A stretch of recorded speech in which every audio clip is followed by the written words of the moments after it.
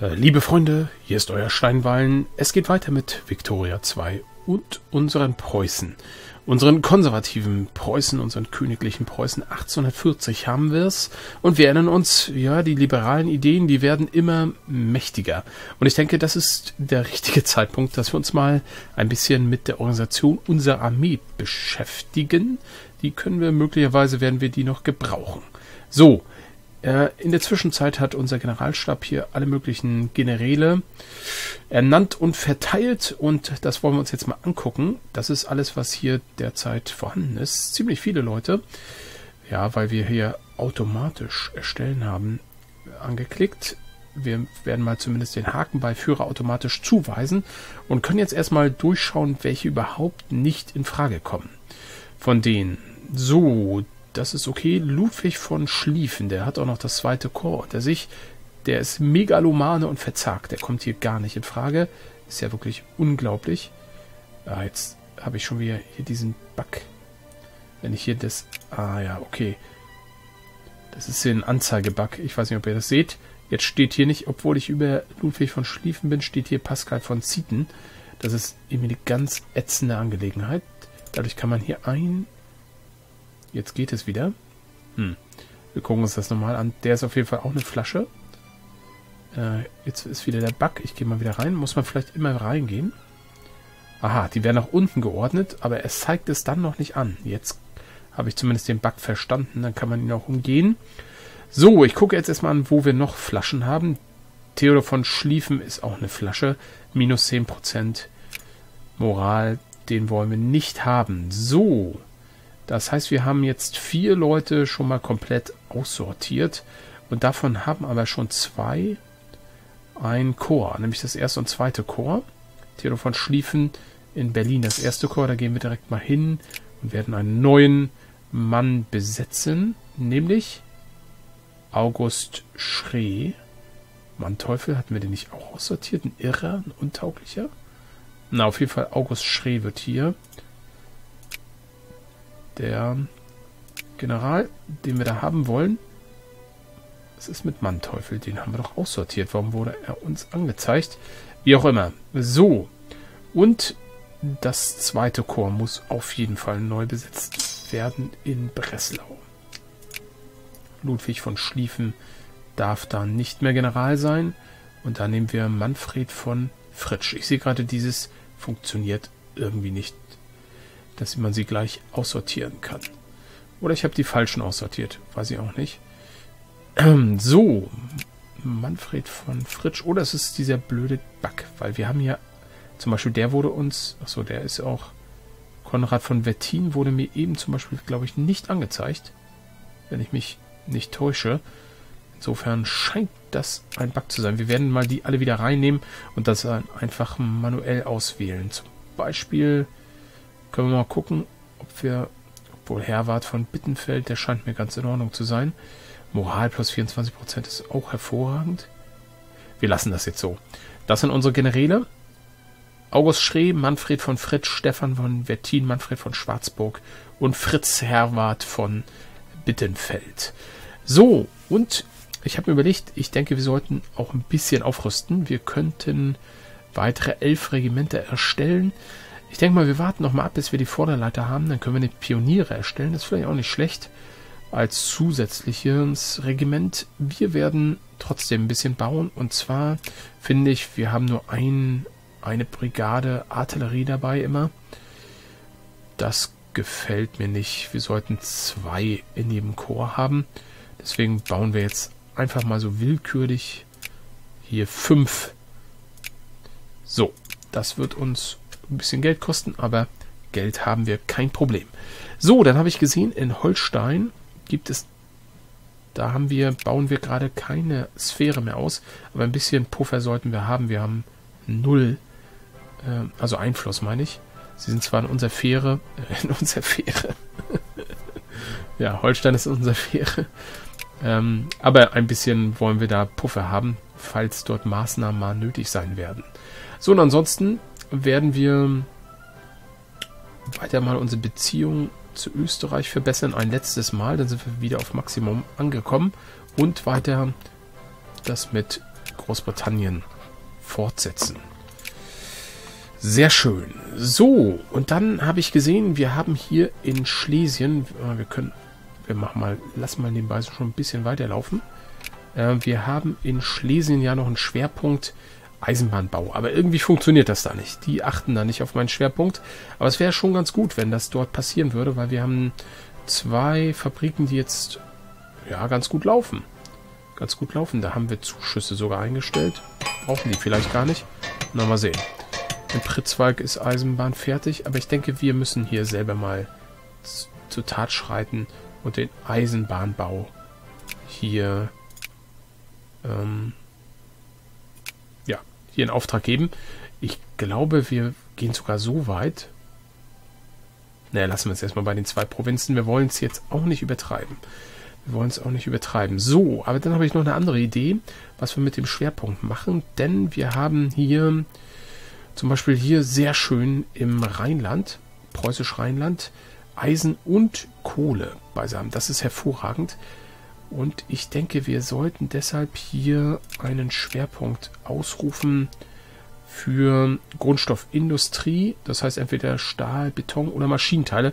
Maschinenteile wäre wichtig. Braucht man, äh, das machen wir dann weg hier in Schlesien, braucht man immer zu. So, und eine Entdeckung ist geschehen. Wissenschaftler unseres Landes entdeckten den Silberstandard. Dies bedeutete, dass ein Währungssystem auf Silber basierte. Geld war von der Regierung einfacher herzustellen, was gleichbedeutend damit war, dass es im Land kaum an Geld fehlte. Das Problem war jedoch, dass der Silberpreis dazu tendierte, vom Goldpreis dominiert zu werden. Darunter hatte der Außenhandel oft zu leiden. So, und unsere Steuereffizienz steigt weiter. Das ist schön. Das freut uns. Okay, soweit. Gut. Facharbeiter fördern in Brandenburg ist, glaube ich, immer noch okay. Da haben wir sehr, sehr viele Fabriken und das können wir gut gebrauchen. Was wir mal austesten können, wir können mal hier diese Fabrik wieder öffnen. Vielleicht arbeitet sie ja jetzt effizienter, wobei das gleich auf Kosten der Handfeuerwaffen geht. Keine Ahnung warum. Oh ja, die arbeitet extrem effizient. Hm. Na gut.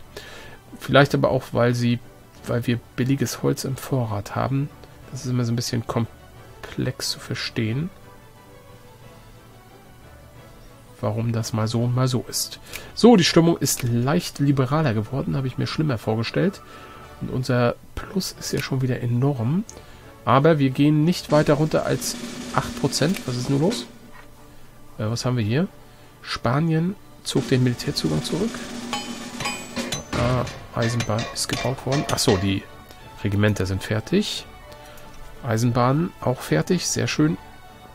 Spanien gewährt Frankreich nicht mehr Militärzugang. Und jetzt sieht man doch endlich mal schön, wie die Eisenbahnlinien schon unser, ein Teil unseres Landes durchkreuzen. So, jetzt haben wir hier offenbar gemacht, dass sich das, dass die sich hier sammeln. Ne, die sammeln sich gar nicht, sondern die sind wild verstreut. Das ist aber nicht so schlimm. Das Deutschlandlied. Im August 1841 schrieb Hoffmann von Fallersleben das Deutschlandlied auf Helgoland. Zusammen mit der Melodie Gott erhalte Franz den Kaiser des Österreichers Josef Haydn sollte es eines Tages, eines fernen Tages, zur deutschen Nationalhymne werden. Das sind Träume, so sehe ich das auch. Okay, Gut, wir schicken jetzt erstmal hier die Artillerie entsprechend dahin, wo wir sie hinhaben wollen. Die 3000 da oben. Achso, wir können auch mal weiterlaufen lassen. Die 3000 hier. Wo sind die anderen entstanden? Jetzt muss noch eine irgendwo sein. Und die muss nach Berlin geschickt werden. Hm.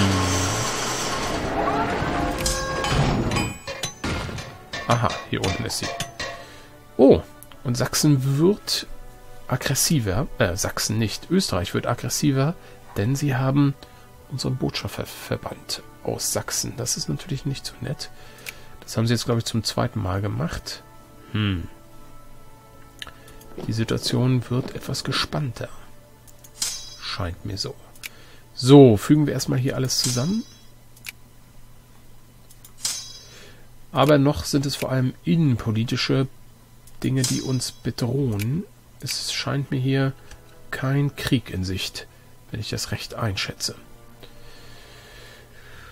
Okay, soweit. Gibt es irgendwo Probleme hier?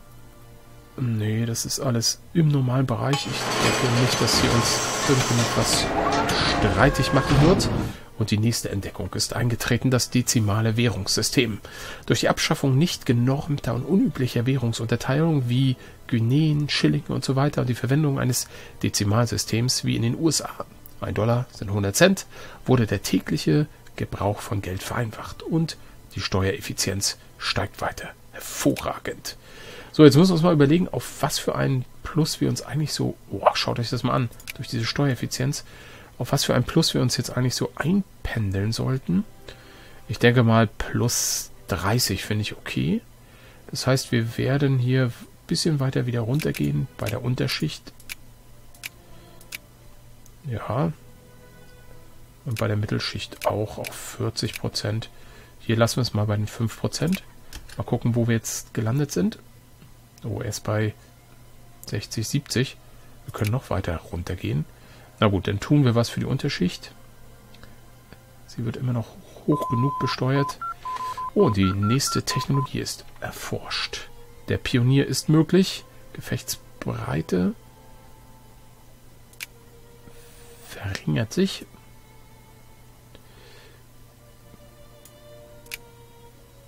So. Eigentlich müsste sich ja vergrößern, ne? Aber vielleicht meint das auch nur das. So, ich denke mal, wir haben ein Problemchen, oder was heißt Problemchen? Wir sind hier bei den Großmächten an dritter Stelle und sind ziemlich gut am Start, was die Industrie betrifft. Natürlich hervorragend, was das Militär betrifft. Aber unser Prestige lässt zu wünschen übrig und ich glaube, ohne dass wir das etwa angewiesen hätten oder so, aber unsere Universitäten, hm, die gehen in diese Richtung und es werden so Gedanken nach realistischer Kunst geweckt. Das wird derzeit an unseren, an unseren Universitäten diskutiert. In Klammern, das erforschen wir jetzt mal. So, okay, jetzt sind wir ein bisschen unter dem angepeilten Plus, aber das können wir ertragen. Eisenbahnen werden gebaut in Köln, in Berlin, in Kleve, in Aachen, in Dortmund, in Posen und in Koblenz. Hervorragend. Und was ist hier los? Krakau Einflusssphäre mit Russland, Bayern Bündnis mit Sachsen, Krakau bricht Bündnis mit Österreich, Krakau schließt Bündnis mit Zarenreich und die Schweiz ist in der Einflusssphäre von Frankreich. Wir können uns direkt auch mal die Einflusssphären anschauen. Hier sehen wir das. Preußen. Aha, und hier sieht man auch, was wie umkämpft ist, wobei das alles nicht so dramatisch ist. Ich glaube, wir sind nirgendwo richtig in Gefahr. Ich weiß gar nicht, wenn man aufs Meer klickt, genau, dann sieht man, dass insgesamt nur Belgien und die Niederlande sind hier erstmal in keinem Einflussgebiet. Wir werden uns da auch nicht einmischen, weil das potenziell nur Ärger bringt. Das ist einfach nicht unsere Baustelle. So ist das eigentlich sehr, sehr gut. Es ist dann irgendwann die Frage, wie das mit Österreich und dem Süden Deutschlands weitergeht. Eisen und Blut, das klingt gut. Nicht durch Reden oder Majoritätsbeschlüsse werden die großen Fragen der Zeit entschieden, sondern durch Eisen und Blut. Otto von Bismarck, der hatte damals, glaube ich, noch nicht so viel zu sagen. Wie auch immer, eine neue reiche Eisenerzader wurde in Erfurt entdeckt. Die Ader ist zwar reich in Erfurt. Ähm, lasst uns kurz mal gucken, was in Erfurt sonst so los ist. In Erfurt. Ähm, in Erfurt, in Erfurt. Hä? Ich sehe immer nicht auf einen Blick, was wo produziert wird. Gucken wir uns das hier mal an. Ah, Eisen, alles klar. Gut, die reich, befindet sich aber auch in einer Tiefe, die gerade außerhalb der Reichweite unserer momentanen Bergbautechnologie steht. Wir könnten versuchen, das Erz abzubauen, aber das wird uns Blut und Leben kosten. Huh. Tja, ich glaube, unser Menschenfreund würde das nicht machen. Friedrich Wilhelm IV., wenn er jetzt wirklich damit mit dieser Frage konfrontiert wird, wird er wird er nicht tief und gierig bohren. Nein, das ist nicht in seinem Sinne. Manche Dinge sollte man einfach vergessen. So sieht's aus. Ja, ihr lieben Erfurter, dankt mir doch einmal. Ah ja, hier sehe ich es auch.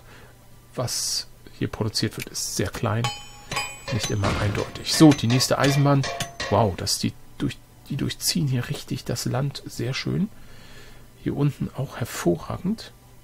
Bloß noch nicht in Westfalen und auch noch nicht im Rheinland. Ähm, wie es aus eigentlich mit der Produktion? Gibt es schon Projekte im Rheinland, die wir anstoßen können? Nee, Glashütte in Pommern. Hatten wir da nicht schon was? Hatten wir da nicht schon mal was investiert? Ist das verlustig gegangen? Hm. Ah nee, die ist bald fertig gebaut. Na, helfen wir da noch mal ein bisschen. Wir haben es ja. Okay, und dieses... Ja, jetzt sieht man, diese Papiermühle arbeitet wirklich nicht besonders auskömmlich. Ja, sie können auch keine Arbeiter einstellen. Okay, El Salvador ist unabhängig von der USCA. Alles klar. Aber auch weit von uns entfernt. Alles andere ist sehr profitabel. Ich freue mich schon auf die zweite Glashütte. Eigentlich sollte das doch bald der Fall sein. So, die Konservativen verlieren immer mehr an Rückhalt in der Bevölkerung, wie es aussieht. Betonfabrik am Niederrhein. Okay. Ich meine, Beton brauchen wir. Niederrhein, die ist natürlich jetzt... Ach, da sind ja schon welche. Aber klar, das nennt man Industriecluster, ne? Wo was ist kommt immer mehr hin. Oder wie man auch sagen kann, der Teufel scheißt immer auf den größten Haufen. Ja klar, warum nicht im Niederrhein? Wir werden das unterstützen. Wir brauchen sowieso Beton. Wir gehen mal wieder so die Hälfte. Und die Glashütte, Mensch, ihr kommt da wie... Komm, wir geben jetzt hier nochmal die Hälfte. Muss doch wohl möglich sein. Die Eisenbahnen bauen sich von selbst, da brauchen wir nicht groß helfend eingreifen. Aber hier ja. Oh, ich sehe gerade, wir haben schon wieder viele, viele, viele Punkte zum Verteilen. Wahnsinn. Wir verbessern mal wieder die Beziehung. Auch mit Österreich. Nee, mit Österreich sind wir. Hm, das kommt während deren, wegen deren Botschafteraktion. Egal. Wir verbessern weiter die Beziehung. Wir gucken mal überhaupt, was ist denn los? Mit wem haben wir. Wir könnten auch mal mit kleineren Ländern Beziehungen verbessern, zum Beispiel mit Dänemark. Das finde ich gut. Die sind ja auch in unserer Sphäre. Genauso Hannover. Haben wir noch? Ja, wir haben noch. Okay, was haben wir hier? Eisenbahn, Eisenbahn in Tuchel und Schweizbündnis mit Frankreich. Das sind Kleinstaaten, Frankreich und Spanien, die haben sich nicht mehr so lieb. Ach nee, das ist eine andere Tastenkombi. Okay, so sieht es jetzt aus. Das ist ein ziemlich großes Bündnis. Hier eine, eine Südachse. Frankreich, Schweiz, Österreich, italienische Staaten noch mit dabei. Aber das russland-preußische Bündnis ist auch stabil. Ich sehe gerade, ich habe schon sehr, sehr viele Zeitungen verpasst. Wir nehmen mal nur die letzte. Die andere gucken wir uns nicht weiter an. Äh, die Österreicher, die haben Angst, dass wir in Sachsen irgendwas tun. Aber noch haben wir da gar keine Ambitionen. Krieg zwischen USA und Mexiko. Na, sowas. Ähm, ja, Kriegszustand. Kernprovinz Nevada, Utah. El Salvador. Das haben wir mitbekommen. Die Reise der Sultanen.